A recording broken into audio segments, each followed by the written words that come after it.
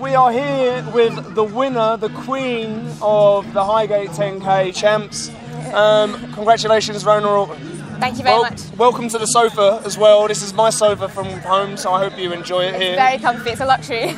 Um, what a great race! Like, like, um, so for people who haven't seen the race, um, Jess Coulson went out very, very hard. Yeah. Um, looked as though was going to be a clear leader. You stuck to your guns and came through. Yeah.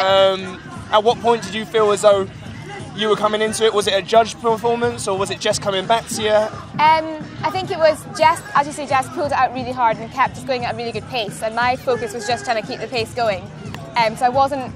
Um, I mean, Jess is a phenomenal athlete. So I didn't think I was going to catch her. So I was just focusing on counting off the laps and trying to keep my time going for my time. Um, and when she got closer, I was like, oh, I can like really push on her and pulling her back. That was really good to finish like that. And as soon as you, you know, just like it is with distance running, as soon as you caught a bit of a smell, okay, because you got a bit of a scent there, Yeah. okay, you went in for the kill, and that Yeah. was very, very impressive. Yeah, the competitive instinct comes out suddenly, and you're like, oh, there's a medal here. So I was pleased with that. So the evening is called um, the night of 10,000 PBs. Yep. Congratulations on a PB. Yep. Um, what, you knocked off 30 seconds there? Yep. No. Um, yep. From from when did you run your last? Where was your previous 10k? Um, so my last 10k, I did a road one um, at Leeds Abbey Dash and ran 33.05 there, and then I did my 33.07 was here last year.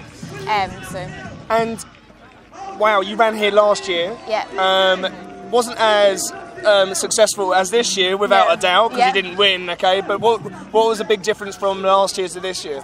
weather. I think last year I was aiming to run about 32.50, um, and I just got beaten by the weather. I think, and um, I, inexperienced as well. I think. With all due respect, you're from Scotland, though. Yeah, I know. I know. I should be used to it. Um, This should be luxury. It should be luxury. It should be luxury. Tonight was luxury, so it's Okay. perfect. Um, um, no, I think I think it's more experience this year and just a bit more confidence, knowing that I've been running the, the time in training. I know that I can get up to the pace, I can do it. So I was confident that I could do it. Just, it's just about pushing through the, the pain and keeping concentrated. So I had a fantastic um, support team with me. So I had someone literally at like every spot around the track shouting, Really? like, keep me going. And so what, and, what, and what was the crowd like? I hope you're hearing actually the noise and this interview, Yeah. okay? But how how good It's- is the the crowd? track is amazing because you find yourself like picking up down the back straight, and certainly in the earlier Ks where you're feeling quite good, I was like really like, pulling myself back a little bit because you come down here and you get excited and you're like, woo! Like, okay, hang on, it's 23 laps to go, just keep it going. They're getting a bit rowdy now, okay? Yeah, the bar, getting- they've already yeah, sold, they've sold out of alcohol. Yeah. They had to go out and get some more alcohol in.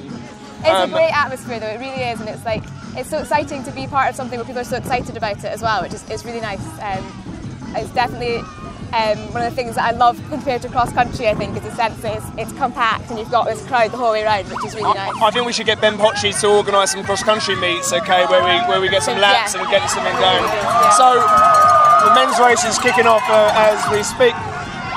What is this race going to do? What's what's the future of your season? Um, what are you hoping for? What are the dreams?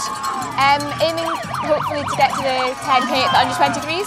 Um, so, that, so that's my main focus this summer. Um, so up until then, just do some more 5ks and 15s and get some speed back in the legs. Um, so yeah, just try and keep ticking over hopefully.